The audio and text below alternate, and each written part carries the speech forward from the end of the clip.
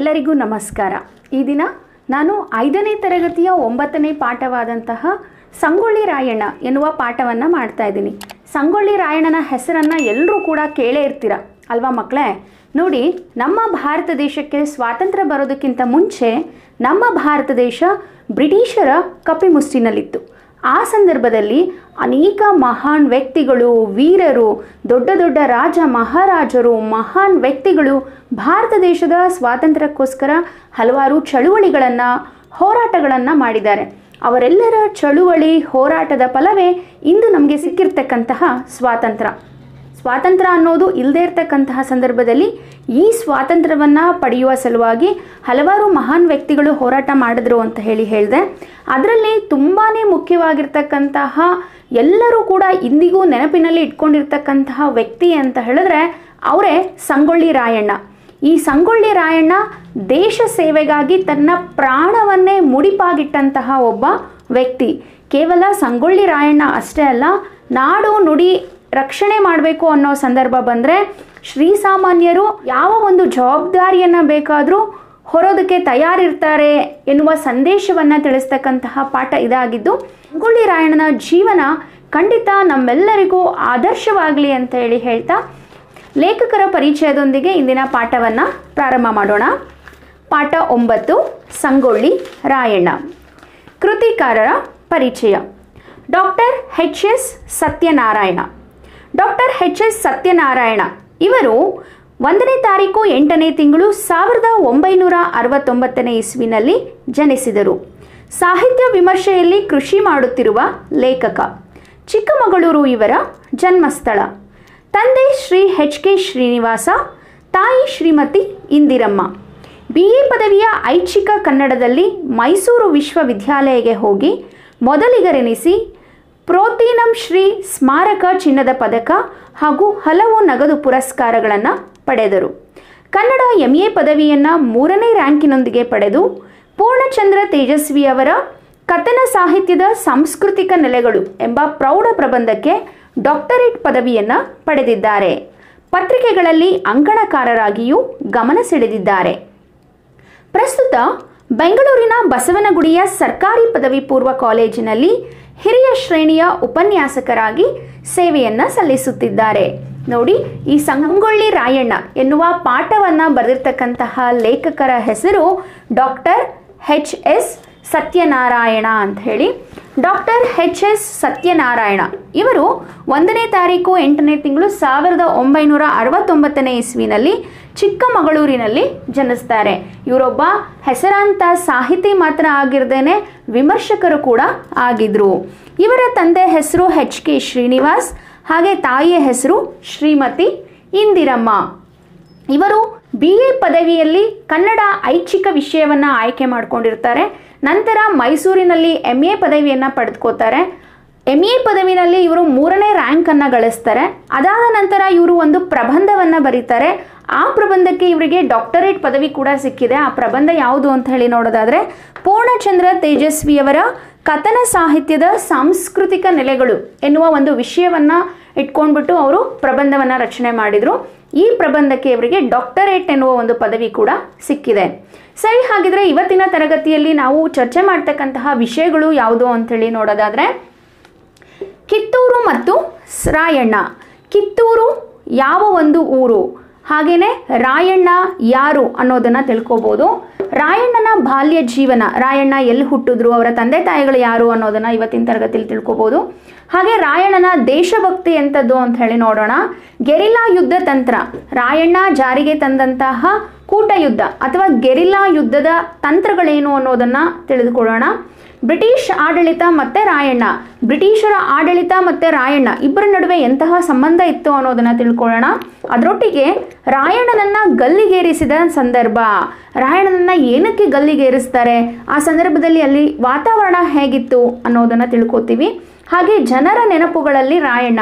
ಇವತ್ತಿಗೂ ಕೂಡ ಎಲ್ಲ ಜನರ ನೆನಪಿನಲ್ಲಿ ರಾಯಣ್ಣ ಇದ್ದಾರೆ.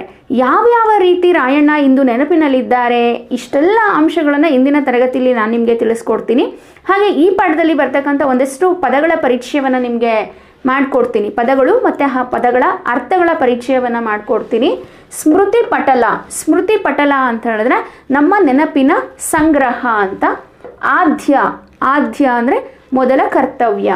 ಕಲಿ, ವೀರ, ಶೂರ ಅಂತ ಹೇಳಿ ಹೇಳ್ಬೋದು. ಅಹೋರಾತ್ರಿ. ಅಹೋರಾತ್ರಿ ಅಂದರೆ ರಾತ್ರಿ ಪೂರ್ಣ, ಸಂಪೂರ್ಣ ರಾತ್ರಿ ಅಂತಲೂ ಹೇಳ್ಬೋದು. ಕ್ರೋಧ, ಸಿಟ್ಟು. ಕಕ್ಕಾಬಿಕ್ಕಿ, ದಿಕ್ಕು ತೋಚದಾಗು. ಸಹಚರರು, ಜೊತೆಗಾರರು. ನಿಪುಣ, ಪರಿಣಿತಿ. ವದಾಸ್ಥಾನ, ಕೊಲ್ಲುವ ಸ್ಥಳ. ಖಜಾನೆ, ತಿಜೋರಿ. ಎರಗು, ಮೇಲೆ ಬೀಳು. ಇದಿಷ್ಟು ಪದಗಳ ಅರ್ಥಗಳು ಈ ಒಂದು ಪಾಠದಲ್ಲಿ ಬರುತ್ತೆ. ಈಗ ನಾನು ಪಾಠವನ್ನು ಓದ್ತಾ ಹಾಗೇನೆ ಅರ್ಥವನ್ನು ಹೇಳ್ತಾ ಹೋಗ್ತೀನಿ. ಎಲ್ಲರೂ ಕೂಡ ಗಮನ ಇಟ್ಟು ಕೇಳಿಸ್ಕೋಬೇಕು. ಕರ್ನಾಟಕದ ಜನರಿಗೆ ಕಿತ್ತೂರಿನ ಹೆಸರನ್ನ ಕೇಳಿದಾಕ್ಷಣ, ನೆನಪಿಗೆ ಬರುವ ಹೆಸರುಗಳೆಂದರೆ ರಾಣಿ ಚೆನ್ನಮ್ಮ ಹಾಗೂ ಸಂಗೊಳ್ಳಿ ರಾಯಣ್ಣ ಎಂಬುವು. ಎಲ್ಲರೂ ಕೂಡ ಕಿತ್ತೂರ ರಾಣಿ ಚೆನ್ನಮ್ಮ ಅನ್ನೋ ಹೆಸರನ್ನಂತೂ ಎಲ್ಲರೂ ಕೇಳಿರ್ತೀರಲ್ವಾ? ಅದರಲ್ಲೂ ನಮ್ಮ ಕರ್ನಾಟಕದ ಜನರಿಗೆ ಕಿತ್ತೂರು ಅನ್ನೋ ಹೆಸರನ್ನ ಕೇಳಿದ ತಕ್ಷಣ ಎರಡು ಹೆಸರು ನೆನಪಿಗೆ ಬರುತ್ತೆ. ಒಂದು ಕಿತ್ತೂರು ರಾಣಿ ಚೆನ್ನಮ್ಮನದು ಹಾಗೆಯೇ ಇನ್ನೊಂದು ಸಂಗೊಳ್ಳಿ ರಾಯಣ್ಣದು ಇದರ ಜೊತೆಗೆ ಸ್ವಾಮಿ ಕಾರ್ಯಕ್ಕೆ ಜೀವತೆತ್ತ ವೀರಾಗ್ರಣಿ ರಾಯಣ್ಣನ ಬದುಕಿನ ಚಿತ್ರ ಸ್ಮೃತಿ ಪಟಲದಲ್ಲಿ ತೇಲಿ ಬರುತ್ತದೆ. ಅವರಿಬ್ಬರು ನೆನಪಿಗೆ ಬರ್ತಾರೆ. ಅದರ ಜೊತೆ ವೀರನಂತೆ ಹೋರಾಡಿ ನಮ್ಮೆಲ್ಲರ ಸ್ಮೃತಿ ಪಟಲದಲ್ಲಿ, ಅಂದರೆ ನಮ್ಮೆಲ್ಲರ ನೆನಪಿನ ಸಂಗ್ರಹದಲ್ಲಿ ಇವತ್ತಿಗೂ ಕೂಡ ಅಚ್ಚಳಿಯದೆ ಉಳಿದಿರ್ತಕ್ಕಂತಹ ವ್ಯಕ್ತಿ ಅಂತ ಹೇಳಿದ್ರೆ ಅವರು ಸಂಗೊಳ್ಳಿ ರಾಯಣ್ಣ. ನಾಡ ಉಳಿವಿಗಾಗಿ ಹೋರಾಡುವುದು ಕೇವಲ ರಾಜರ ಕೆಲಸವಲ್ಲ, ಅದು ಸಾಮಾನ್ಯ ಜನತೆಯ ಆದ್ಯ ಕರ್ತವ್ಯವೂ ಹೌದು ಎಂಬುದನ್ನು ತೋರಿಸಿಕೊಟ್ಟ ಕಲಿ ಸಂಗೊಳ್ಳಿ ರಾಯಣ್ಣ. ನೋಡಿ, ಒಂದು ನಾಡಿದೆ. ಆ ನಾಡನ್ನು ಉಳಿಸ್ಬೇಕು ಅಂತ ಹೇಳಿದ್ರೆ ಅದು ಕೇವಲ ರಾಜನೊಬ್ಬನ ಕರ್ತವ್ಯ ಅಲ್ಲವೇ ಅಲ್ಲ, ಅದು ಸಾಮಾನ್ಯ ಜನರ ಕರ್ತವ್ಯ ಕೂಡ ಅನ್ನೋದನ್ನು ತಿಳಿಸಿಕೊಟ್ಟಂತಹ ಒಬ್ಬ ವೀರ ಅಂತ ಹೇಳಿದ್ರೆ ಅವರೇ ಸಂಗೊಳ್ಳಿ ರಾಯಣ್ಣ. ಕಿತ್ತೂರು ಸಂಸ್ಥಾನವು ಬ್ರಿಟಿಷರ ವಶವಾದ ನಂತರ ಸ್ವಾತಂತ್ರ್ಯ ಪ್ರಿಯರೆಲ್ಲ ಸಂಗೊಳ್ಳಿ ರಾಯಣ್ಣನ ಮುಂಚೂಣಿ ನಾಯಕತ್ವದಲ್ಲಿ ಜೊತೆ ಸೇರಿ ಹೋರಾಟ ನಡೆಸಿ ಅವರನ್ನು ಹೊಡೆದೋಡಿಸುವ ಸಾಹಸ ಮಾಡಿದರು. ಇದರಿಂದಾಗಿ ಸಂಗೊಳ್ಳಿ ರಾಯಣ್ಣನ ನೆನಪು ಇತಿಹಾಸದ ಪುಟದಲ್ಲಿ ಉಳಿಯುವಂತಾಯಿತು. ನಾನು ಹೇಳಿದೆ ಇವತ್ತಿಗೂ ಕೂಡ ಎಲ್ಲರೂ ನಾವು ಸಂಗೊಳ್ಳಿ ರಾಯಣ್ಣನ ನೆನಪು ಮಾಡ್ಕೋತೀವಿ ಅಂಥೇಳಿ ಅದಕ್ಕೆ ಮುಖ್ಯ ಕಾರಣ ಏನಪ್ಪ ಅಂತ ಹೇಳಿದ್ರೆ ಏನು ಈ ಕಿತ್ತೂರು ಸಂಸ್ಥಾನ ಇತ್ತಲ್ವಾ? ಈ ಕಿತ್ತೂರು ಸಂಸ್ಥಾನ ಬ್ರಿಟಿಷರ ವಶವಾಗುತ್ತೆ. ಏನಕ್ಕೆ ಅಂತ ಹೇಳಿದ್ರೆ ಕಿತ್ತೂರು ರಾಣಿ ಚೆನ್ನಮ್ಮನಿಗೆ ಮಕ್ಕಳು, ಗಂಡು ಮಕ್ಕಳು ಇಲ್ಲದೆ ಇರ್ತಕ್ಕಂತಹ ಕಾರಣ, ಆಕೆ ಏನು ಮಾಡ್ತಾಳೆ? ಒಬ್ಬ ಪುತ್ರನನ್ನ ದತ್ತು ತೆಗೆದುಕೊಳ್ತಾಳೆ. ಆಗ ಬ್ರಿಟಿಷ್ ಸರ್ಕಾರ ಒಂದು ಹೊಸ ಕಾನೂನನ್ನು ಹೊರಡಿಸುತ್ತೆ. ಅದೇನು ಅಂತ ಹೇಳಿದ್ರೆ, ದತ್ತು ಮಕ್ಕಳಿಗೆ ಹಕ್ಕಿಲ್ಲ ಅನ್ನೋ ಒಂದು ಹೊಸ ಕಾನೂನನ್ನು ಅಥವಾ ನಿಯಮವನ್ನು ಹೊರಡಿಸುತ್ತೆ. ಈ ಒಂದು ನಿಯಮದ ಅಡಿಯಲ್ಲಿ ಏನಾಗುತ್ತೆ ಅಂತ ಹೇಳಿದ್ರೆ, ಕಿತ್ತೂರು ರಾಣಿ ಚೆನ್ನಮ್ಮನ ರಾಜ್ಯ ಎಲ್ಲ ಯಾರ ವಶ ಆಗುತ್ತೆ? ಬ್ರಿಟಿಷರ ವಶವಾಗುತ್ತೆ. ಸ್ವಾತಂತ್ರ್ಯ ಪ್ರಿಯರೆಲ್ಲ ಸಂಗೊಳ್ಳಿ ರಾಯಣ್ಣನ ಮುಂಚೂಣಿ ನಾಯಕತ್ವದಲ್ಲಿ ಸೇರಿ, ಯಾವಾಗ ಈ ಕಿತ್ತೂರು ಸಾಮ್ರಾಜ್ಯ ಬ್ರಿಟಿಷರ ವಶವಾಯ್ತಲ್ವಾ? ಆ ಸಂದರ್ಭದಲ್ಲಿ ಏನಾಯಿತು ಅಂತ ಹೇಳಿದ್ರೆ, ಅನೇಕ ಮುಂಚೂಣಿ ನಾಯಕರು, ಮುಂಚೂಣಿ ಅಂತ ಹೇಳಿದ್ರೆ ಮುಂದಾಳತ್ವ ಅಂಥೇಳಿ ಅನೇಕ ನಾಯಕರು ಬ್ರಿಟಿಷರ ವಿರುದ್ಧ ಹೋರಾಡೋದಕ್ಕೆ ಅಂಥೇಳಿ ಮುಂದೆ ಬಂದರು. ಬ್ರಿಟಿಷರ ವಿರುದ್ಧ ಹೋರಾಟವನ್ನು ನಡೆಸಿ, ಬ್ರಿಟಿಷರಿಂದ ಭಾರತದಿಂದಾನೇ ಹೊರಗೆ ಓಡಿಸ್ಬೇಕು ಹೇಳಿ ಸಾಹಸವನ್ನು ಮಾಡಿದ್ರು. ಅದರಲ್ಲಿ ಸಂಗೊಳ್ಳಿ ರಾಯಣ್ಣ ತುಂಬ ಮುಖ್ಯವಾದಂತಹ ವ್ಯಕ್ತಿ. ಹಾಗಾಗಿ ಇತಿಹಾಸದ ಪುಟಗಳನ್ನು ನಾವು ನೋಡ್ತಾ ಹೋದಾಗ, ಅಂದರೆ ಹಿಸ್ಟರಿಯನ್ನು ಗಮನಿಸ್ತಾ ಹೋದಾಗ, ಇವತ್ತಿಗೂ ಕೂಡ ಸಂಗೊಳ್ಳಿ ರಾಯಣ್ಣನ ಹೆಸರು ಅಜರಾಮರವಾಗಿದೆ ಅಂತೇಳಿ ನಾವು ಹೇಳ್ಬೋದು. ಸಂಗೊಳ್ಳಿ ರಾಯಣ್ಣನ ಬದುಕಿನ ವಿವರಗಳು ಇತಿಹಾಸದಲ್ಲಿ ದಾಖಲಾಗಿರುವುದಕ್ಕಿಂತ ಲಾವಣಿಯಂತಹ ಜನಪದ ಸಾಹಿತ್ಯದಲ್ಲಿ ಸೇರಿ ಹೋಗಿರುವುದೇ ಹೆಚ್ಚು. ಇನ್ನು ಸಂಗೊಳ್ಳಿ ರಾಯಣ್ಣನ ಶೌರ್ಯ, ಆತನ ಆಡಳಿತ ವೈಖರಿ, ಆತನ ಸಾಹಸ, ಇದೆಲ್ಲ ನಮಗೆ ಇತಿಹಾಸದಲ್ಲಿ ಅಷ್ಟೊಂದು ಕಂಡು ಬರಲ್ಲ. ಆದರೆ ಆತನ ಸಾಹಸದ ಬಗ್ಗೆ, ಆತನ ಶೌರ್ಯದ ಬಗ್ಗೆ ನಮಗೆ ಹೆಚ್ಚು ಎಲ್ಲಿ ಕಾಣ ಸಿಗುತ್ತೆ ಅಂತ ಹೇಳಿದ್ರೆ ಲಾವಣಿಗಳು. ಲಾವಣಿ ಅಂತ ಹೇಳಿದ್ರೆ ಒಂದು ರೀತಿಯ ಹಾಡುಗಳು. ಜನಪದ ಸಾಹಿತ್ಯದಲ್ಲಿ ಬರ್ತಕ್ಕಂತಹ ಒಂದು ಸಾಹಿತ್ಯ ಪ್ರಕಾರ. ಇದನ್ನ ಏನಂತ ಕರೀತಾರೆ? ವೀರಗೀತೆಗಳು ಅಂತ ಕೂಡ ಕರೀತಾರೆ. ಲಾವಣಿ ಅಂದ್ರೆ ಏನು ಅಂತ ಹೇಳಿದ್ರೆ ಒಬ್ಬ ವ್ಯಕ್ತಿಯ ಶೌರ್ಯ, ಸಾಹಸ, ಆತನ ಕುರಿತಾಗಿ ರಚನೆ ಮಾಡಿರ್ತಕ್ಕಂಥ ಹಾಡುಗಳು. ಇವನ್ನ ವೀರಗೀತೆಗಳು ಅಂತ ಹೇಳಿ ಕರೀತಾರೆ. ಈ ರೀತಿಯ ವೀರಗೀತೆಗಳಲ್ಲೇ ನಾವು ಹೆಚ್ಚಾಗಿ ಸಂಗೊಳ್ಳಿ ರಾಯಣ್ಣನನ್ನ ನೋಡಬಹುದಾಗಿದೆ. ರಾಯಣ್ಣ ಲಾವಣಿಗಳಲ್ಲಿ ಉಳಿದಿರುವುದು ಅವನ ಜನಪ್ರಿಯತೆಗೆ ಸಾಕ್ಷಿಯನ್ನೊದಗಿಸುತ್ತದೆ. ಇಂದಿಗೂ ಕೂಡ ಜನರೆಲ್ಲರೂ ಸಂಗೊಳ್ಳಿ ರಾಯಣ್ಣನ ನೆನ್ಪಿಟ್ಕೊಂಡಿದ್ದಾರೆ ಅಂತ ಹೇಳಿದ್ರೆ ಅದಕ್ಕೆ ಮುಖ್ಯ ಕಾರಣ ಅಂತ ಹೇಳಿದ್ರೆ ಲಾವಣಿಗಳು. ಆಗಿನ ಕಾಲದಲ್ಲಿ, ಅಂದರೆ ಜನಪದರು ಇದ್ದಂತಹ ಕಾಲದಲ್ಲಿ, ಅವರು ಅಕ್ಷರಸ್ಥರು ಅಲ್ಲದೆ ಇದ್ದರೂ ಕೂಡ ಲಾವಣಿಗಳಲ್ಲಿ ಏನು ಮಾಡ್ತಾ ಇದ್ರು? ವೀರರ ಶೌರ್ಯತನವನ್ನು ಕುರಿತು ರಚನೆ ಮಾಡ್ತಾ ಇದ್ರು. ಹಾಗಾಗಿ ಈ ಲಾವಣಿಗಳು ಒಂದು ಸಾಕ್ಷಿ ಅಂತಾನೆ ಹೇಳ್ಬೋದು. ಇನ್ನು ರಾಯಣ್ಣನ ಬಗ್ಗೆ ತಿಳ್ಕೊಳ್ಳೋದಾದರೆ ರಾಯಣ್ಣನ ಊರು ಸಂಗೊಳ್ಳಿ. ಇದು ಬೆಳಗಾವಿ ಜಿಲ್ಲೆಯ ಸಂಪಂಗಾವಿ ತಾಲೂಕಿನ ಒಂದು ಪುಟ್ಟ ಹಳ್ಳಿ. ಇನ್ನು ರಾಯಣ್ಣನ ಊರು ಯಾವುದು?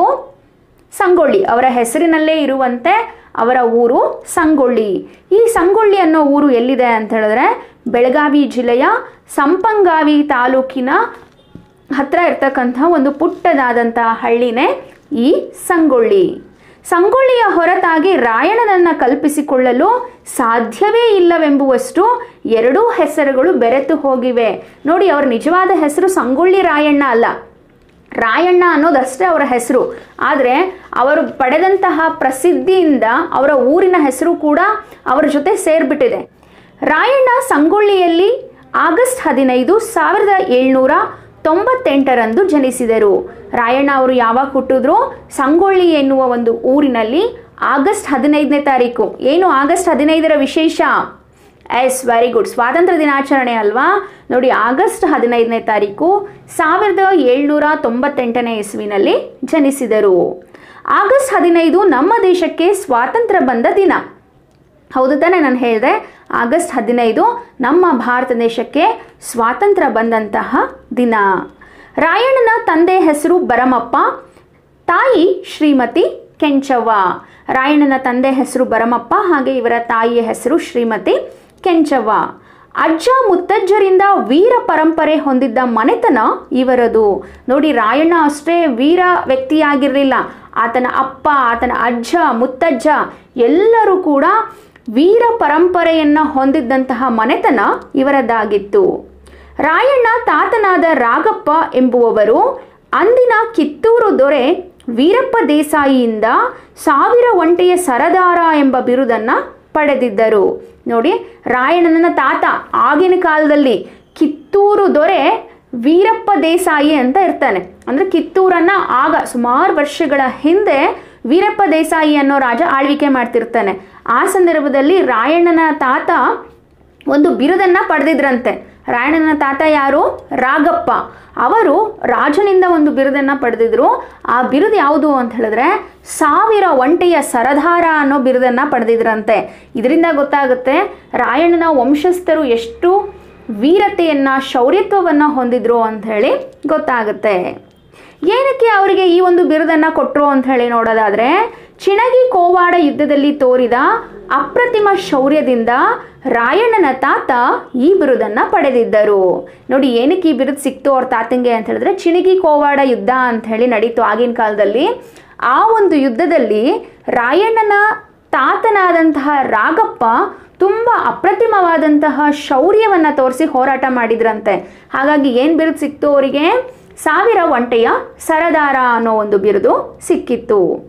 ರಾಯಣನಿಗೆ ಸಹಜವಾಗಿಯೇ ಯೋಧನೊಬ್ಬನಿಗಿರಬೇಕಾದ ಲಕ್ಷಣಗಳೆಲ್ಲವೂ ರಕ್ತಗತವಾಗಿ ಬಂದಿದ್ದವು. ನೋಡಿ, ಒಬ್ಬ ಯೋಧ ಅಥವಾ ಸೈನಿಕ, ಒಬ್ಬ ವೀರ ವ್ಯಕ್ತಿಗೆ ಯಾವೆಲ್ಲ ಗುಣಗಳು ಇರಬೇಕೋ ಆ ಎಲ್ಲ ಗುಣಗಳು ರಾಯಣನಿಗೆ ಇಲ್ಲಿ ರಕ್ತಗತವಾಗೇನೆ ಬಂದ್ಬಿಟ್ಟಿತ್ತು. ಯಾಕೆ ಅಂದರೆ ಅವರ ವಂಶಜರೆಲ್ಲರೂ ಕೂಡ ವೀರ ಪರಂಪರೆಯಿಂದ ಬಂದವರಾಗಿದ್ದರು ರಾಯಣ್ಣ ಕಿತ್ತೂರು ಸಂಸ್ಥಾನದ ಸಾಮಾನ್ಯ ಪ್ರಜೆಯಾಗಿದ್ದನು. ನೋಡಿ, ಬ್ರಿಟಿಷರ ವಿರುದ್ಧ ಅಷ್ಟೊಂದು ಅಪ್ರತಿಮವಾದಂಥ ಹೋರಾಟ ಮಾಡ್ತಾನೆ ರಾಯಣ್ಣ ಅಂಥೇಳಿ ನಿಮಗೆ ಗೊತ್ತು. ಹಾಗಂತ ರಾಯಣ್ಣ ಏನು ಆತ ಕಿತ್ತೂರು ಸಂಸ್ಥಾನದ ರಾಜ ಏನಾಗಿರಲಿಲ್ಲ. ಆತ ಕಿತ್ತೂರು ಸಂಸ್ಥಾನದ ಒಬ್ಬ ಸಾಮಾನ್ಯ ಪ್ರಜೆಯಾಗಿದ್ದ. ಸಂಗೊಳ್ಳಿ ಗ್ರಾಮದ ತಳವಾರಿಯಾಗಿ ನೇಮಕಗೊಂಡಂಥವನು. ಆಗೇನು ಸಂಗೊಳ್ಳಿ ಅನ್ನೋ ಒಂದು ಊರಿತ್ತಲ್ಲ ಆ ಊರಿನ ಒಬ್ಬ ಕಾವಲುಗಾರನಾಗಿ ನೇಮಕಗೊಂಡಂಥವನೇ ಯಾರು? ರಾಯಣ್ಣ, ತಳವಾರಿ ಅಂತ ಹೇಳಿದ್ರೆ ಕಾವಲುಗಾರ. ಹಲವಾರು ದೇಶಭಕ್ತರೊಂದಿಗೆ ಬ್ರಿಟಿಷರ ವಿರುದ್ಧ ಅಹೋರಾತ್ರಿ ಹೋರಾಡಿದ್ದರಿಂದ ಕಾರಾಗೃಹವಾಸವನ್ನು ಅನುಭವಿಸಬೇಕಾಯಿತು. ನೋಡಿ ಹಲವಾರು ದೇಶ ಭಕ್ತರ ಜೊತೆ ಸೇರಿಕೊಂಡು ರಾಯಣ್ಣ ಏನು ಮಾಡ್ದ? ಅಹೋರಾತ್ರಿ ಅಹೋರಾತ್ರಿ ಅಂತ ಹೇಳಿದ್ರೆ ಸಂಪೂರ್ಣ ರಾತ್ರಿ ಅಥವಾ ರಾತ್ರಿ ಪೂರ್ತಿ ಬ್ರಿಟಿಷರ ವಿರುದ್ಧ ಹೋರಾಟ ಮಾಡ್ತಾನೆ. ಹಾಗೇನೆ ಆ ಹೋರಾಟದಲ್ಲಿ ಅವನು ಕಾರಾಗೃಹ ವಾಸವನ್ನು ಕೂಡ ಅನುಭವಿಸಬೇಕಾಯಿತು. ಕಾರಾಗೃಹ ಅಂದರೆ ಜೈಲುವಾಸ ಜೈಲುವಾಸವನ್ನು ಕೂಡ ಅನುಭವಿಸಬೇಕಾಯಿತು. ತಮ್ಮ ವಿರುದ್ಧ ಹೋರಾಡಿದನೆಂಬ ಕಾರಣಕ್ಕೆ ಬ್ರಿಟಿಷ್ ಸರ್ಕಾರ ರಾಯಣ್ಣನ ಮನೆತನಕ್ಕೆ ಸೇರಿದ್ದ ಭೂಮಿಯನ್ನ ವಶಪಡಿಸಿಕೊಂಡು ಬಿಟ್ಟಿತ್ತು. ನೋಡಿ, ಆಗಿನ ಕಾಲದಲ್ಲಿ ಆಳ್ವಿಕೆ ನಡೆಸ್ತಾ ಇದ್ದಂತಹ ಬ್ರಿಟಿಷ್ ಸರ್ಕಾರ ತುಂಬ ಕ್ರೂರವಾದಂತಹ ನಿರ್ಧಾರಗಳನ್ನು ತೆಗೆದುಕೊಳ್ತಾ ಇತ್ತು. ಹಾಗೆ ತುಂಬ ದೌರ್ಜನ್ಯ ದಬ್ಬಾಳಿಕೆಯನ್ನು ಭಾರತೀಯರ ಮೇಲೆ ಮಾಡ್ತಾ ಇತ್ತು. ಯಾವಾಗ ರಾಯಣ್ಣ ದೇಶಭಕ್ತರ ಜೊತೆ ಸೇರ್ಕೊಂಡ್ಬಿಟ್ಟು ರಾತ್ರಿ ಎಲ್ಲ ಬ್ರಿಟಿಷರ ವಿರುದ್ಧ ಹೋರಾಟ ಮಾಡ್ದ ಅಂತೇಳಿ ಗೊತ್ತಾಯ್ತಲ್ವಾ? ಅವನು ತಗೊಂಡು ಹೋಗಿ ಜೈಲಿಗೆ ಹಾಕಿದ್ರು. ಜೈಲಿಗೆ ಹಾಕಿದಷ್ಟೇ ಅಲ್ಲ, ಏನು ಮಾಡಿದ್ರಪ್ಪ ಅಂತ ಹೇಳಿದ್ರೆ ರಾಯಣ್ಣನಿಗೆ ತುಂಬ ಹೊಲ ಇತ್ತು ಆ ಊರಿನಲ್ಲಿ. ಆ ಹೊಲವನ್ನೆಲ್ಲ ಬಂದು ಏನು ಮಾಡ್ಬಿಟ್ರು?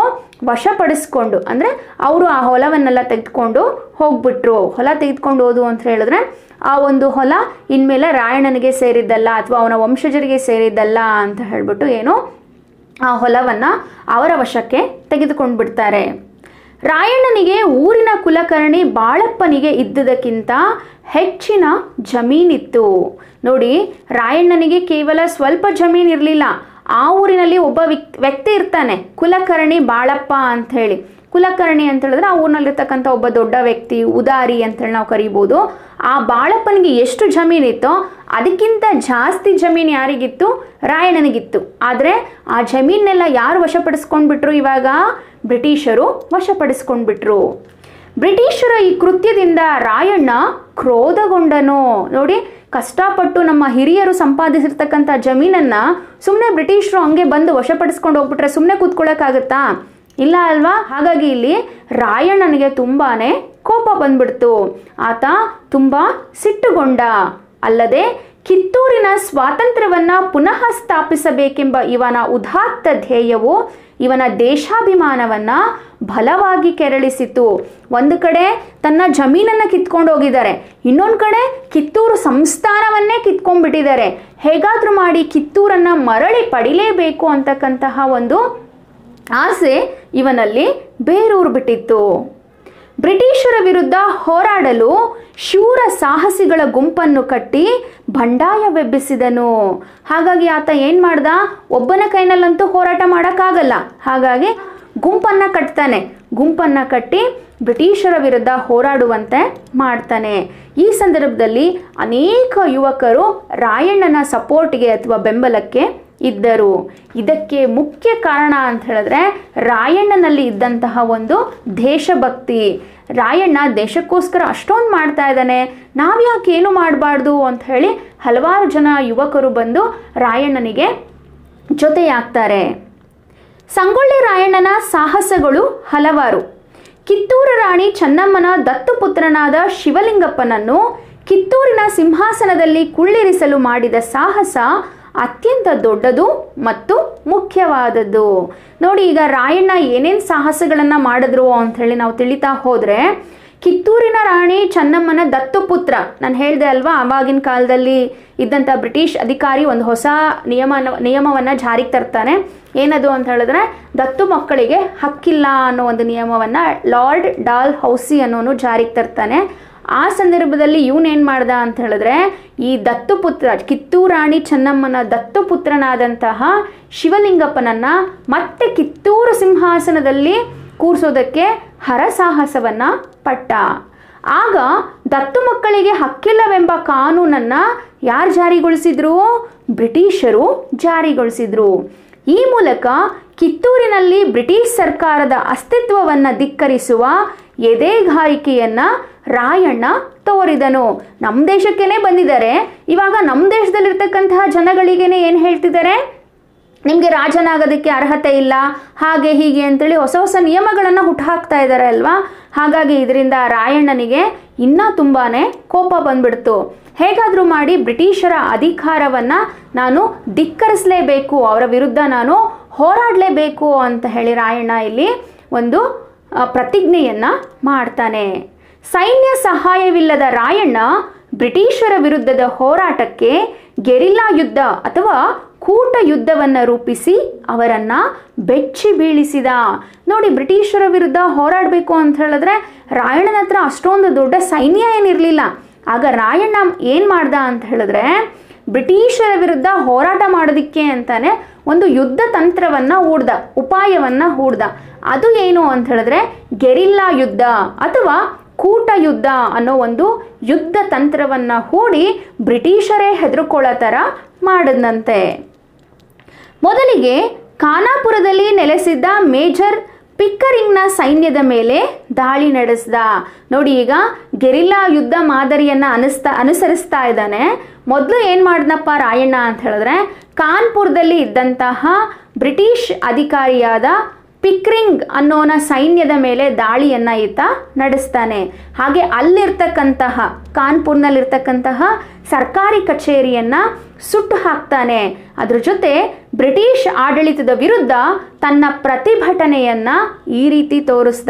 ಕಾನ್ಪುರದಲ್ಲಿರ್ತಕ್ಕಂತಹ ಬ್ರಿಟಿಷ್ ಅಧಿಕಾರಿ ಮೇಲೆ ದಾಳಿ ಮಾಡ್ತಾನೆ. ಹಾಗೆ ಅಲ್ಲಿರ್ತಕ್ಕಂತಹ ಬ್ರಿಟಿಷರ ಕಚೇರಿಯನ್ನ ಸುಟ್ಟು ಧ್ವಂಸ ಮಾಡ್ತಾನೆ. ಈ ರೀತಿ ಬ್ರಿಟಿಷರ ವಿರುದ್ಧ ತನ್ನ ಪ್ರತಿಭಟನೆಯನ್ನ ಆರಂಭ ಮಾಡ್ದ. ಹಗಲು ಹೊತ್ತನ್ನ ಕಾಡಿನಲ್ಲಿ ಕಳೆದು ರಾತ್ರಿ ವೇಳೆ ತನ್ನ ಅನೇಕ ಯೋಧರೊಡನೆ ಬ್ರಿಟಿಷರ ಬೀಡಿನ ಮೇಲೆ ಎರಗುತ್ತಿದ್ದ. ನೋಡಿ ಇವನ್ನ ಯಾರು ಗುರುತಿಸಬಾರ್ದು, ಯಾರು ಕೂಡ ಕಂಡು ಹಿಡಿಬಾರ್ದು ಅಂತೇಳಿ ಏನು ಮಾಡ್ತಾ ಇದ್ದ? ಹಗಲು ಹೊತ್ತನ್ನೆಲ್ಲ ಎಲ್ಲಿ ಕಳೀತಾ ಇದ್ದ ಈತ? ಕಾಡಿನಲ್ಲಿ ಕಳೀತಾ ಇದ್ದ. ಇನ್ನು ರಾತ್ರಿ ವೇಳೆ ಏನು ಮಾಡ್ತಾ ಇದ್ದ?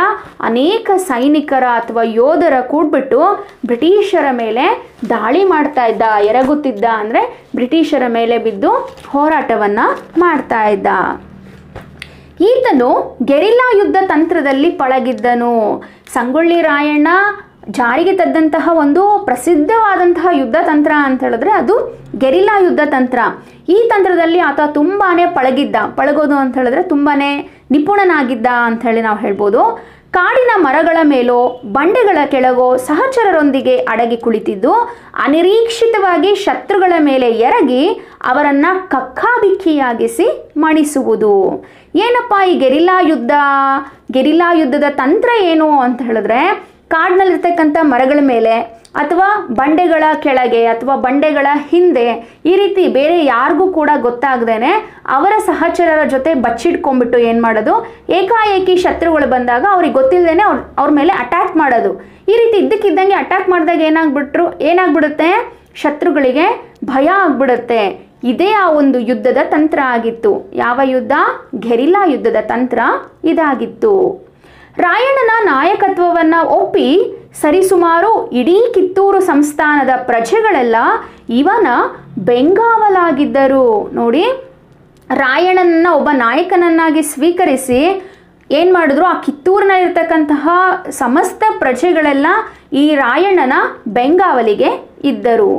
ಮೋಸದಿಂದ ಬ್ರಿಟಿಷರ ಪಕ್ಷ ವಹಿಸುವವರ ವಿಚಾರದಲ್ಲಿ ರಾಯಣ್ಣ ನಿರ್ದಾಕ್ಷಿಣ್ಯವಾಗಿರುತ್ತಿದ್ದ ಈಗ ನಮ್ಮ ಗುಂಪಿನಲ್ಲೇ ಇದ್ಕೊಂಡು ನಮಗೆ ಗೊತ್ತಿಲ್ಲದೇನೆ ಬ್ರಿಟಿಷರಿಗೆ ಯಾರಾದರೂ ಸಹಾಯ ಮಾಡ್ತಾ ಇದ್ದಾರೆ ಅಂತ ಹೇಳಿದ್ರೆ ರಾಯಣ್ಣ ಅವ್ರ ಮೇಲೆ ಸ್ವಲ್ಪ ಕೂಡ ಕರುಣೆಯನ್ನು ತೋರಿಸ್ತಾ ಇರಲಿಲ್ಲ. ಅವ್ರ ಮೇಲೆ ನಿರ್ದಾಕ್ಷಿಣ್ಯವಾಗಿ ಯಾವುದೇ ಒಂದು ಕ್ರಮವನ್ನು ಆತ ತೆಗೆದುಕೊಳ್ತಾ ಇದ್ದ. ಇವನ ಕಾರ್ಯಗಳಿಂದ ಬೆಚ್ಚಿಬಿದ್ದ ಬ್ರಿಟಿಷ್ ಅಧಿಕಾರಿಗಳು ತಮ್ಮ ರಕ್ಷಣೆಗಾಗಿ ಸೈನ್ಯದ ನೆರವನ್ನ ಕೋರಬೇಕಾಯಿತು.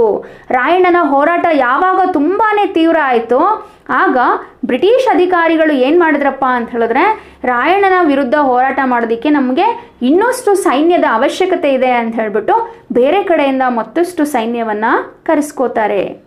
ಕಾನಪುರದ ದಾಳಿಯ ನಂತರ ರಾಯಣ್ಣ ಸಂಪಂಗಾವದ ಮೇಲೆ ದಾಳಿ ಮಾಡಿದ. ಅಲ್ಲಿನ ಖಜಾನೆಯನ್ನ ಸೂರೆ ಮಾಡಿ, ಹಲವು ಹಳ್ಳಿಗಳ ಮೇಲೂ ಎರಗಿ ಧನ ಸಂಗ್ರಹ ಮಾಡಿ ಬ್ರಿಟಿಷರ ನಿಗ್ರಹಕ್ಕೆ ಹಗಲಿರುಳು ಪ್ರಯತ್ನಿಸಿದ. ನೋಡಿ, ನಂತರ ಫಸ್ಟು ಖಾನಾಪುರ ಮೇಲೆ ಅಟ್ಯಾಕ್ ಮಾಡ್ತಾನೆ. ಅದಾದ ನಂತರ ರಾಯಣ್ಣ ಸಂಪಂಗಾವ ಎನ್ನುವ ಒಂದು ಊರಿನ ಮೇಲೆ ದಾಳಿಯನ್ನ ಮಾಡ್ತಾನೆ. ದಾಳಿ ದಾಳಿಯನ್ನ ಮಾಡಿ ಅಲ್ಲಿರ್ತಕ್ಕಂತಹ ಖಜಾನೆಯನ್ನು ಲೂಟಿ ಮಾಡ್ತಾನೆ. ಖಜಾನೆ ಅಂತ ಹೇಳಿದ್ರೆ ತಿಜೋರೆ. ಏನು ಬ್ರಿಟಿಷರು ಜನರಿಂದ ಬಲವಂತವಾಗಿ ಕಂದಾಯವನ್ನ, ಹಣವನ್ನ ವಸೂಲಿ ಮಾಡಿಟ್ಟಿದ್ರಲ್ವ ತಿಜೋರಿ? ಆ ಒಂದು ತಿಜೋರಿಯನ್ನ ಆತ ಏನ್ ಮಾಡ್ದ ತನ್ನ ವಶಕ್ಕೆ ತೆಗೆದುಕೊಳ್ತಾನೆ. ಹಾಗೆಯೇ ಹಲವು ಹಳ್ಳಿಗಳ ಮೇಲೆ ಆಕ್ರಮಣವನ್ನು ಮಾಡಿ ಅಲ್ಲಿರ್ತಕ್ಕಂತಹ ಜನರಿಂದ ಸ್ವಲ್ಪ ಹಣವನ್ನು ಸಂಗ್ರಹ ಸಂಗ್ರಹವನ್ನು ಮಾಡಿ ಬ್ರಿಟಿಷರ ನಿಗ್ರಹಕ್ಕೆ ಬ್ರಿಟಿಷರನ್ನು ಹೇಗಾದರೂ ಮಾಡಿ ದೇಶದಿಂದ ಓಡಿಸಲೇಬೇಕು ಅಂತ ಹೇಳ್ಬಿಟ್ಟು ಏನು ಮಾಡ್ದ? ಹಗಲು ಮತ್ತು ರಾತ್ರಿ ರಾತ್ರಿ ಹಗಲು ಯಾವುದನ್ನು ನೋಡದೆ ತೀವ್ರವಾಗಿ ಹೋರಾಟವನ್ನು ಮಾಡ್ತಾ ಇದ್ದ. ಬಲಾಢ್ಯ ಬ್ರಿಟಿಷ್ ಪಡೆಯನ್ನೇ ಚಿಂತೆಗೀಡು ಮಾಡುವ ಸಿಂಹ ಸ್ವಪ್ನವಾಗಿ ಸಂಗೊಳ್ಳಿ ರಾಯಣ್ಣ ಬೆಳೆದಿದ್ದ ಅಂತಹ ಬಲಿಷ್ಠಶಾಲಿಯಾದಂತಹ ಬ್ರಿಟಿಷ್ ಸೈನ್ಯನೇ ಸಂಗೊಳ್ಳಿ ರಾಯಣ್ಣನ ನೋಡಿ ಹೆದರ್ತಾ ಇತ್ತಂತೆ. ಬ್ರಿಟಿಷ್ ಸೈನ್ಯ ಅಂದರೆ ಅವರು ಸಂಖ್ಯೆನಲ್ಲೂ ಕೂಡ ಅಪಾರವಾಗಿದ್ದರು ಹಾಗೆ ಅವರ ಹತ್ರ ಅತ್ಯುತ್ತಮವಾದಂತಹ ಮದ್ದುಗುಂಡುಗಳು, ಬಂದೂಕುಗಳು ಎಲ್ಲ ಇತ್ತು. ಆದರೆ ಅಂತಹ ಬ್ರಿಟಿಷ್ ಸೈನ್ಯನೇ ಯಾರನ್ನ ನೋಡಿ ಹೆದರ್ಕೊಳ್ತಾ ಇತ್ತಂತೆ? ಈ ಸಂಗೊಳ್ಳಿ ರಾಯಣ್ಣನನ್ನ ನೋಡಿ ಹೆದರ್ಕೊಳ್ತಾ ಇದ್ರಂತೆ. ಹಾಗಾಗಿ ಇವನನ್ನ ಸಿಂಹ ಸ್ವಪ್ನ ಅಂತ ಹೇಳಿ ಕರೆದಿದ್ದಾರೆ. ಸಿಂಹ ಸ್ವಪ್ನ ಅಂದರೆ ಕನಸಿನಲ್ಲೂ ಕೂಡ ಬಂದು ಹೆದರಿಸ್ತಕ್ಕಂಥವನು. ಅಂದರೆ ಬ್ರಿಟಿಷರ ಕನಸಲ್ಲೂ ಕೂಡ ರಾಯಣ್ಣ ಹೋಗಿ ಹೆದರಿಸ್ತಾ ಇದ್ದ.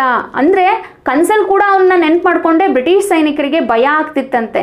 ಈ ರೀತಿ ರಾಯಣ್ಣ ತುಂಬ ಧೈರ್ಯವಂತ ವ್ಯಕ್ತಿ ಹಾಗೆ ವೀರ ವ್ಯಕ್ತಿಯಾಗಿದ್ದ.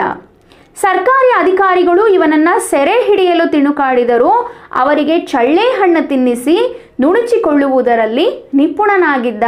ಇನ್ನ ಯಾರಾದರೂ ಕೂಡ ರಾಯಣ್ಣನ ಹಿಡಿಬೇಕು ಅಂತೇಳಿ ಏನೇನೋ ಒಂದು ಉಪಾಯವನ್ನ ಮಾಡ್ಕೊಂಡು ಬಂದ್ರು ಕೂಡ ಇವನೇನ್ ಮಾಡ್ತಾ ಇದ್ದ? ಅವನನ್ನ ಹಿಡಿಯೋಕ್ ಬಂದಿರೋರ್ಗೆನೆ ಚಳ್ಳೆ ಹಣ್ಣು ತಿನ್ನಿಸ್ತಿದ್ದ. ಅಂದರೆ ಅವ್ರಿಗೇನೆ ಮೋಸ ಮಾಡಿ ಅವನು ಅವರಿಂದ ತಪ್ಪಿಸ್ಕೊಂಡು ಹೊರಟೋಗ್ಬಿಡ್ತಿದ್ದ. ರಾಯಣ್ಣ ಬ್ರಿಟಿಷರ ವಿರುದ್ಧ ನಿರಂತರವಾಗಿ ತನ್ನದೇ ತಂತ್ರಗಾರಿಕೆಯಿಂದ ಹೋರಾಡುತ್ತಲೇ ಬಂದ. ನೋಡಿ, ನಿರಂತರವಾಗಿ ಹೋರಾಟ ಮಾಡೋದು ಸ್ವಲ್ಪ ದಿನ ಸುಮ್ಮನಿರೋದು ಆ ಥರ ಮಾಡಲಿಲ್ಲ. ನಿರಂತರವಾಗಿ ಆತ ಬ್ರಿಟಿಷರ ವಿರುದ್ಧ ಹೋರಾಟ ಮಾಡ್ಕೊಳ್ತಾನೆ ಬಂದ. ನಾಲ್ಕು ತಿಂಗಳ ಕಾಲ ಸತತವಾಗಿ ಪ್ರತಿರೋಧ ತೋರಿದ ರಾಯಣ್ಣನನ್ನ ಯುದ್ಧ ಮಾಡಿ ಸೆರೆ ಹಿಡಿಯುವುದು ಅಸಾಧ್ಯವೆಂದು ಮನಗಂಡ ಬ್ರಿಟಿಷ್ ಸರ್ಕಾರ ಕಪಟ ಜಾಲ ಒಡ್ಡಿ ದೇಶದ್ರೋಹಿಗಳ ಸಹಾಯದಿಂದ ಸೆರೆ ಹಿಡಿದು ವಿಚಾರಣೆಗೆ ಒಳಪಡಿಸಿತು ನೋಡಿ, ಏನಾಯಿತು ಇಲ್ಲಿ? ಬ್ರಿಟಿಷರಿಗೆ ಅಥವಾ ಬ್ರಿಟಿಷ್ ಸರ್ಕಾರಕ್ಕೆ ರಾಯಣ್ಣನ ಬಗ್ಸೋದು ಆಗಲೇ ಇಲ್ಲ. ರಾಯಣ್ಣ ಬ್ರಿಟಿಷರ ವಿರುದ್ಧ ಸತತವಾಗಿ ಹೋರಾಟ ಮಾಡ್ತಾನೆ ಇದ್ದ. ಯುದ್ಧ ಮಾಡಿ ರಾಯಣ್ಣನನ್ನ ಸೆರೆ ಹಿಡಿತೀನಿ ಅಂದರೆ ಅದು ಆಗದೇ ಇರೋ ಮಾತು ಅನ್ನೋದನ್ನು ತಿಳ್ಕೊಂಡಂತಹ ಬ್ರಿಟಿಷರು ಏನು ಮಾಡಿದ್ರು ಅಂತ ಹೇಳಿದ್ರೆ ಒಂದು ಮೋಸದ ಜಾಲವನ್ನು ಒಡ್ಡಿ ದೇಶದ್ರೋಹಿಗಳ ಸಹಾಯದಿಂದ, ಅಂದರೆ ನಮ್ಮ ಭಾರತ ದೇಶದಲ್ಲಿ ಇರ್ತಕ್ಕಂಥ ಕೆಲವು ವ್ಯಕ್ತಿಗಳ ಸಹಾಯದಿಂದ ಏನು ಮಾಡಿದ್ರು ರಾಯಣನನ್ನ ಸೆರೆ ಹಿಡಿದ್ಬಿಟ್ಟು ವಿಚಾರಣೆಗೆ ಒಳಪಡಿಸಿದ್ರು. ರಾಯಣ್ಣನನ್ನ ಬಂಧಿಸ್ತಾರೆ. ಬಂಧಿಸಿದ ನಂತರ ಆತನ ನಾಲ್ಕು ನೂರು ಜನ ಸಹಚರರು ಕೂಡ ಶರಣಾಗತರಾಗ್ತಾರೆ. ಎಲ್ಲರಿಗೂ ನಾಯಕನಾಗಿದ್ದಂಥವನು ಯಾರು ಇಲ್ಲಿ? ರಾಯಣ್ಣ. ಅಂಥದ್ರಲ್ಲಿ ರಾಯಣ್ಣನೇ ಈಗ ಏನಾಗ್ಬಿಟ್ಟಿದ್ದಾನೆ? ಬ್ರಿಟಿಷರು ಆತನನ್ನು ಬಂಧಿಸ್ಬಿಟ್ಟಿದ್ದಾರೆ, ಪೊಲೀಸರು ಆತನನ್ನು ಬಂಧಿಸ್ಬಿಟ್ಟಿದ್ದಾರೆ. ಇನ್ನು ಉಳಿದಿರ್ತಕ್ಕಂಥ ಆತನ ಸಹಚರರು ಏನಿದ್ರಲ್ವ, ನಾನೂರು ಜನ? ಅವರು ಕೂಡ ಇಲ್ಲಿ ಶರಣಾಗತರಾಗ್ಬಿಟ್ರು. ರಾಯಣ್ಣನು ತಾನು ನಾಡಿನ ಹಿತಕ್ಕಾಗಿ ಈ ಕಾರ್ಯಗಳನ್ನೆಲ್ಲ ಮಾಡಬೇಕಾಯಿತು ಎಂದು ಒಪ್ಪಿಕೊಂಡನು. ಅಂದರೆ ರಾಯಣ್ಣ ಇದುವರೆಗೂ ಏನೇನು ಕೆಲಸಗಳನ್ನು ಮಾಡಿದ್ನಲ್ಲವ? ಬ್ರಿಟಿಷರನ್ನು ಸಾಯಿಸೋದಿರ್ಬೋದು ಖಜಾನೆಯನ್ನು ಲೂಟಿ ಮಾಡಿದ್ದಿರ್ಬೋದು. ಇದೆಲ್ಲ ನಾನು ಮಾಡಿದ್ದೇನಕ್ಕೋಸ್ಕರ ನಮ್ಮ ಸ್ವಾತಂತ್ರ್ಯಕ್ಕಾಗಿ ಅಥವಾ ನಮ್ಮ ಜನರ ರಕ್ಷಣೆಗೆ ನಾನು ಇದನ್ನೆಲ್ಲ ಮಾಡಿದೆ. ನನ್ನ ನಾಡಿನ ಹಿತಕ್ಕಾಗಿ ಇದನ್ನೆಲ್ಲ ನಾನು ಮಾಡಿದೆ ಅಂಥೇಳಿ ರಾಯಣ್ಣ ಅಲ್ಲಿ ಸತ್ಯವನ್ನು ಒಪ್ಕೋತಾನೆ. ವಿಚಾರಣೆಯನ್ನು ನಡೆಸಿದಂತಹ ನ್ಯಾಯಾಲಯ ಇವನನ್ನ ತಪ್ಪಿತಸ್ಥ ಅಂತ ಹೇಳಿ ಘೋಷಣೆಯನ್ನ ಮಾಡಿ ಮರಣದಂಡನೆಯನ್ನ ವಿಧಿಸುತ್ತೆ. ನೋಡಿ, ರಾಯಣ್ಣ ಇಷ್ಟೆಲ್ಲ ಏನು ಕೆಲಸ ಮಾಡಿದ್ನಲ್ವ? ಬ್ರಿಟಿಷರನ್ನ ಸಾಯಿಸಿದ್ದು, ಖಜಾನೆ ಲೂಟಿ ಮಾಡಿದ್ದು, ಇದೆಲ್ಲ ನಮ್ಮ ಕನ್ನಡ ನಾಡಿನ ಒಳಿತಿಗಾಗಿ. ಆದರೆ ಅಲ್ಲಿ ಯಾವಾಗ ನ್ಯಾಯಾಲಯದಲ್ಲಿ ಸಂಗೊಳ್ಳಿ ರಾಯಣ್ಣ ನಿಜವನ್ನು ಒಪ್ಕೋತಾನಲ್ಲ, ಆಗ ನ್ಯಾಯಾಲಯ ಇವನಿಗೆ ಒಂದು ಕಠಿಣವಾದಂತಹ ಶಿಕ್ಷೆಯನ್ನು ಕೊಡುತ್ತೆ. ಆ ಶಿಕ್ಷೆ ಏನಪ್ಪ ಅಂತ ಹೇಳಿದ್ರೆ ಮರಣ ದಂಡನೆಯ ಶಿಕ್ಷಣೆ, ಶಿಕ್ಷೆಯನ್ನು ರಾಯಣ್ಣನಿಗೆ ಕೊಡುತ್ತೆ.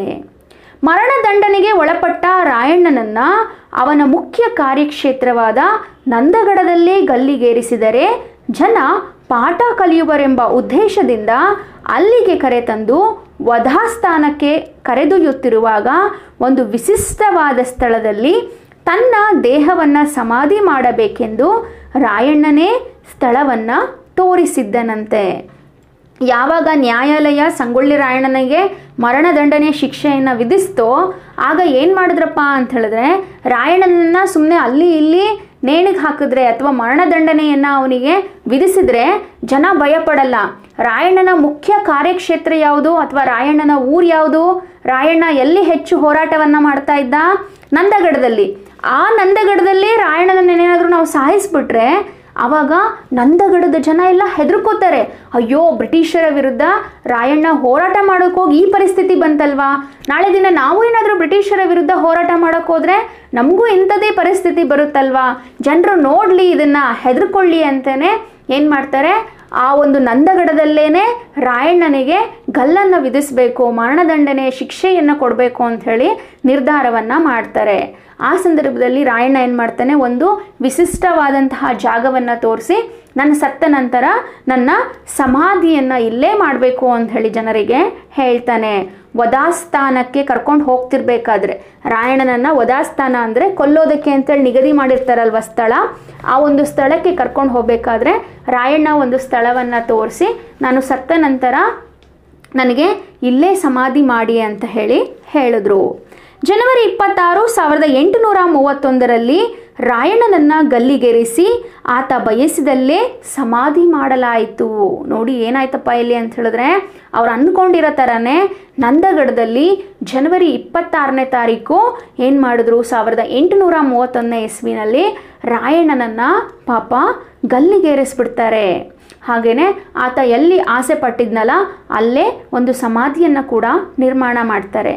ಅಲ್ಲಿ ಒಂದು ಆಲದ ಮರ ಬೆಳೆದಿದೆ. ಇವತ್ತಿಗೂ ಕೂಡ ಅಲ್ಲಿ ಒಂದು ಆಲದ ಮರ ಇರೋದನ್ನು ನಾವು ನೋಡ್ಬೋದು. ಹಾಗೆಯೇ ರಾಯಣ್ಣನಿಗೊಂದು ಗುಡಿಯನ್ನೂ ಜನರು ಕಟ್ಟಿದ್ದಾರೆ. ನೋಡಿ, ದೇವರುಗಳಿಗಷ್ಟೇ ಗುಡಿಗಳಿರುತ್ತೆ, ದೇವಸ್ಥಾನಗಳಿರುತ್ತೆ. ಆದರೆ ಒಬ್ಬ ವ್ಯಕ್ತಿಗೆ ದೇವಸ್ಥಾನ ಕಟ್ಟಿದ್ದಾರೆ ಅಂತ ಹೇಳಿದ್ರೆ ಆತ ಇನ್ನೆಷ್ಟು ಧೈರ್ಯವಂತ, ಶು, ಶೌರ್ಯವಂತ, ಹಾಗೆ ನಾಡಿಗಾಗಿ ಹೋರಾಡಿದಂತಹ ಮಹಾನ್ ವ್ಯಕ್ತಿ ಅನ್ನೋದನ್ನ ನಾವಿಲ್ಲಿ ನೋಡಬೇಕಾಗುತ್ತೆ. ರಾಯಣ್ಣನಿಗೋಸ್ಕರನೇ ಜನ ಇಲ್ಲಿ ಒಂದು ದೇವಸ್ಥಾನವನ್ನು ಕೂಡ ಕಟ್ಟಿದ್ದಾರೆ. ರಾಯಣ್ಣನ ಸಮಾಧಿಯು ಈಗ ಭಕ್ತಿ ಗೌರವಗಳುಳ್ಳ ಜನರ ಪಾಲಿಗೆ ವೀರಗುಡಿಯ ರಾಯಣ್ಣನ ಗದ್ದುಗೆಯಾಗಿದೆ. ಇವಾಗೂ ಕೂಡ ಆ ದೇವಸ್ಥಾನ ಇದೆ. ಅದನ್ನು ಏನಂತ ಕರೀತಾರೆ ಅಂತ ಹೇಳಿದ್ರೆ, ರಾಯಣ್ಣನ ಗದ್ದುಗೆ ಅಂತಾನೆ ಕರೀತಾರೆ. ಹಾಗೆಯೇ ರಾಯಣ್ಣನ ನೆನಪು ಹಾಡುವ ಹಾಡುಗಳಲ್ಲಿ, ಲಾವಣಿಗಳಲ್ಲಿ ಹಸಿರಾಗಿ ಉಳಿದಿದೆ. ಅವನ ಧೀರ ಕ್ರಮಗಳು, ಶೌರ್ಯ ಸಾಧನೆಗಳು, ಚತುರ ಚಲನವನ ಚಲನವಲನಗಳು, ವ್ಯೂಹಗಳು ಇವಕ್ಕೂ ಮಿಗಿಲಾಗಿ ಕಿತ್ತೂರಿನ ಸ್ವಾತಂತ್ರ್ಯ ಸಾಧನೆಯ ಘನ ಘನೋದ್ಧಾರಕ್ಕಾಗಿ ಎಡೆಬಿಡದೆ ನಡೆಸಿದ ಪ್ರಯತ್ನಗಳು. ಇವುಗಳ ಕತೆ ಇಂದಿಗೂ ನಾಡಿನ ಜನರಲ್ಲಿ, ಜನರ ಕಣ್ಣಲ್ಲಿ ನೀರೂರಿಸಿ ಎಲ್ಲರಲ್ಲೂ ದೇಶ ಪ್ರೇಮವನ್ನು ಉಕ್ಕಿಸುತ್ತಲೇ ಇವೆ. ನೋಡಿ, ರಾಯಣ್ಣ ಏನೋ ಸತ್ತು ಹೋಗಿರ್ಬೋದು. ಆದರೆ ಇವತ್ತು ಕೂಡ ಜನ ರಾಯಣ್ಣನನ್ನು ನೆನಪು ಮಾಡ್ಕೋತಾ ಇದ್ದಾರೆ. ಜನರು ಹಾಡ್ತಕ್ಕಂತಹ ಹಾಡುಗಳಲ್ಲಿ, ಲಾವಣಿಗಳಲ್ಲಿ ರಾಯಣ್ಣ ಇಂದಿಗೂ ಕೂಡ ಹಸಿರಾಗಿ ಉಳಿದಿದ್ದಾರೆ. ಅವರ ಧೀರ ಕ್ರಮಗಳು, ರಾಯಣ್ಣನ ಧೀರವಾದಂತಹ ಕ್ರಮಗಳು, ಅವರ ಶೌರ್ಯವ ಸಾಧನೆಗಳು, ಚತುರ ಅಂದರೆ ಚತುರ ಅಂದರೆ ಬುದ್ಧಿವಂತಿಕೆಯ ಚಲನವನ ವಲನಗಳಾಗಿರ್ಬೋದು. ಹಾಗೆ ಬ್ರಿಟಿಷರ ವಿರುದ್ಧ ರಚನೆ ಮಾಡ್ತಿದ್ದಂತಹ ವ್ಯೂಹಗಳು, ಇದೆಲ್ಲದಕ್ಕಿಂತ ಹೆಚ್ಚಾಗಿ ಕಿತ್ತೂರಿನ ಸ್ವತಂತ್ರ ಸಾಧನೆ ಅಥವಾ ಕಿತ್ತೂರಿನ ಉದ್ಧಾರಕ್ಕಾಗಿ ರಾಯಣ್ಣ ಎಡೆಬಿಡದೆ ಅಂದರೆ ಬಿಟ್ಟೋ ಬಿಡದಂಗೆ ನಡೆಸಿದಂತಹ ಹೋರಾಟ. ಇದೆಲ್ಲ ಕೆಲಸಗಳಿಂದ ರಾಯಣ್ಣನನ್ನ ಜನ ಇಂದಿಗೂ ಕೂಡ ನೆನ್ಪಿಟ್ಕೊಂಡಿದ್ದಾರೆ. ಹಾಗೆ ರಾಯಣ್ಣನ ಹೆಸರನ್ನು ಕೇಳಿದ ತಕ್ಷಣ ಎಲ್ಲರ ಕಣ್ಣಲ್ಲೂ ಇವತ್ತು ನೀರು ಬರುತ್ತೆ. ಎಲ್ಲರಲ್ಲೂ ದೇಶ ಪ್ರೇಮ ಉಕ್ಕುತ್ತಲೇ ಇರುತ್ತದೆ. ರಾಯಣ್ಣ ಅಂತ ಒಬ್ಬ ಇದ್ದ ಆತ ನಮ್ಮ ನಾಡಿಗಾಗಿ, ನಮ್ಮ ದೇಶಕ್ಕಾಗಿ ಇಷ್ಟೆಲ್ಲ ಹೋರಾಟ ಮಾಡ್ದ ಅಂಥೇಳಿ ರಾಯಣ್ಣನ ಇತಿಹಾಸವನ್ನು ತಿಳಿತಾ ಹೋದರೆ, ಆತನ ಕಥೆಯನ್ನು ತಿಳಿತಾ ಹೋದರೆ ಇಂದಿಗೂ ಕೂಡ ನಮ್ಮಲ್ಲಿ ನಮ್ಮ ಕಣ್ಣಿನಲ್ಲಿ ನೀರು ಬರುತ್ತೆ, ಅದರ ಜೊತೆ ನಮ್ಮಲ್ಲಿ ದೇಶಭಕ್ತಿ ಹುಟ್ಕೊಳ್ಳುತ್ತೆ ನಾವು ಕೂಡ ನಮ್ಮ ದೇಶಕ್ಕೆ ಏನಾದರೂ ಮಾಡಬೇಕು ಅನ್ನೋ ಒಂದು ದೇಶಭಕ್ತಿ ಹುಟ್, ಹುಟ್ಕೊಳ್ಳುತ್ತೆ. ಅಲ್ಲದೆ ಆತನ ಜನ್ಮದಿನ, ಅಂದರೆ ಇಲ್ಲಿ ರಾಯಣ್ಣ ಜನಿಸಿದ್ದು ಆಗಸ್ಟ್ ಹದಿನೈದನೇ ತಾರೀಕು. ಆತ ಮರಣ ಹೊಂದಿದ್ದು ಯಾವಾಗ? ಜನವರಿ ಇಪ್ಪತ್ತಾರನೇ ತಾರೀಕು. ಎರಡರ ವಿಶೇಷತೆ ಏನು? ಆಗಸ್ಟ್ ಹದಿನೈದು, ಘ, ಆಗಸ್ಟ್ ಹದಿನೈದು ಸ್ವಾತಂತ್ರ್ಯ ದಿನಾಚರಣೆ. ಜನವರಿ ಇಪ್ಪತ್ತಾರು ಗಣರಾಜ್ಯೋತ್ಸವ ಅಲ್ವಾ? ಇದೆರಡೂ ಕೂಡ ನಮ್ಮ ರಾಷ್ಟ್ರೀಯ ಹಬ್ಬಗಳಾಗಿದೆ. ರಾಯಣ್ಣನ ನೆನಪನ್ನು ದೇಶಭಕ್ತಿಯೊಂದಿಗೆ ಸ್ಮರಣೀಯವಾಗಿಸಿದೆ. ನೋಡಿ ಒಂದು ಎರಡು ರಾಷ್ಟ್ರೀಯ ಹಬ್ಬಗಳ ದಿನನೇ ಜ, ಜನನ ಮತ್ತು ಮರಣ ಎರಡೂ ಕೂಡ ಸಂಭವಿಸುತ್ತೆ. ಇದೊಂದು ವಿಶೇಷಕರವಾದಂತಹ ಸಂಗತಿ ಅಂತಲೇ ಹೇಳ್ಬೋದು. ಯಾರಿಗುಂಟು ಆ ಅದೃಷ್ಟ ಅಲ್ವಾ? ರಾಷ್ಟ್ರೀಯ ಹಬ್ಬಗಳ ದಿನ ಹುಟ್ಟೋದು ಹಾಗೆಯೇ ರಾಷ್ಟ್ರೀಯ ಹಬ್ಬಗಳ ದಿನಾನೇ ಸತ್ತು ಹೋಗ್ತಾರೆ ಅಂತ ಹೇಳಿದ್ರೆ ಇದೊಂದು ವಿಶೇಷ ಸಂಗತಿ ಅಂತಲೇ ಹೇಳ್ಬೋದು. ಕೇಳಿಸ್ಕೊಂಡ್ರಲ್ಲ ಮಕ್ಕಳೇ, ಬ್ರಿಟಿಷರ ವಿರುದ್ಧ ರಾಯಣ್ಣ ಯಾವ ರೀತಿಯ ಹೋರಾಟವನ್ನು ಮಾಡ್ದ, ಯಾವ್ಯಾವ ರೀತಿಯ ಯುದ್ಧ ತಂತ್ರಗಳನ್ನು ಮಾಡ್ದ, ತನ್ನ ಕೊನೆಯವರೆಗೂ, ತನ್ನ ಸಾಯ್ತೀನಿ ಅಂತ ಗೊತ್ತಿದ್ರು ಕೂಡ ನಮ್ಮ ನಾಡಿಗಾಗಿ, ನಮ್ಮ ದೇಶಕ್ಕಾಗಿ ಪ್ರಾಣವನ್ನೇ ಬಲಿ ಕೊಟ್ಟನಲ್ವ ರಾಯಣ್ಣ? ಹಾಗಾಗಿ ರಾಯಣ್ಣನನ್ನು ಇಂದಿಗೂ ಕೂಡ ಎಲ್ಲ ಜನ ಸಂಗೊಳ್ಳಿ ರಾಯಣ್ಣ ಅಂತಲೇ ನೆನ್ಪಿಟ್ಕೊಂಡಿದ್ದಾರೆ.